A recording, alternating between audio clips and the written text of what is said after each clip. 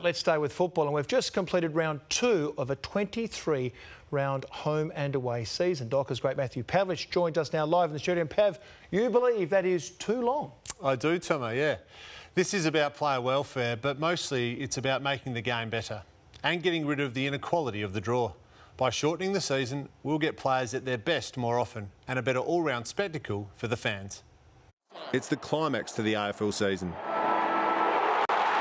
a long season. Last year, it was that one day in October, not September.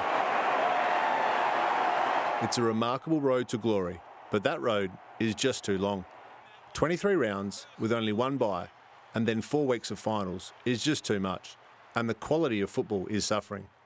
My view? We must aim at quality, not quantity.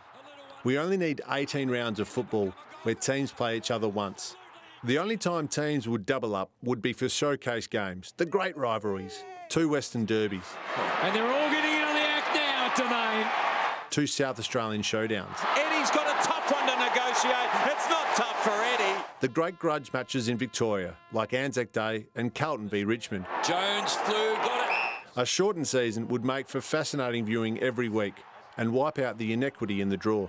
An 18 game season opens up opportunity for feature games such as State of Origin, All Star Weekends, or international rules. TV broadcasters can promote and celebrate these games, which is great for the code and fans.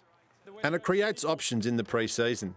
A more meaningful pre season competition with the possibility of a round robin series with a final, or simply a shorter pre season. And while I'm at it, I think the quarters are also too long. They can often drag on past 30 minutes. Let's cap it at 20 minutes plus any significant injury time. This is really sad to see. AFL is a tough and brutal game. Players can't sustain premium quality football over such a long period. It's time for a change. Now, there may be some cynics who think, as president of the Players Association, this is a call for players to do less and get paid more. The game's broadcasters may also be unhappy. There are less games to telecast but I strongly believe this will enhance our great game and open up the opportunity for feature weekends like State of Origin, which, Tom, I, am also passionate about, but maybe that's for another time. Argument for another day. Well done, Pav. I like it.